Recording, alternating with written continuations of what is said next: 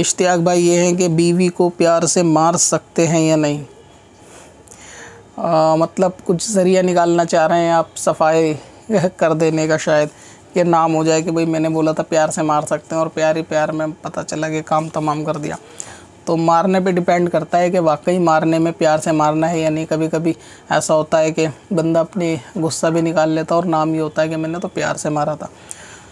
तो ये तो ख़ुद जानते होंगे, जिन दोनों के बीच का ये ड्रामा चल रहा है कि वो लोगों को खुद पता होगा कि मारना प्यार से हो रहा है, यानी हाँ प्यार से मार सकते हैं, जैसे कि आपने कहा चेहरे पे हल्के से मारना, गाल पे मारना, ये सब तो इसमें कोई कराहत नहीं है, अगर वाकई में प्यार से मारना हो, लेकिन बीवियों को भी थोड़ा इस मसले में सावधान रहना चाहिए। अब अपनी ज़रूरत के लिए आसान वजीफ़ा तलाश करना हुआ और भी आसान। विज़िट करें wazifa dot S M S Warsi dot com पर और अपनी दीनों दुनिया की भलाई के लिए पाएँ ढेरों आसान वजीफ़े।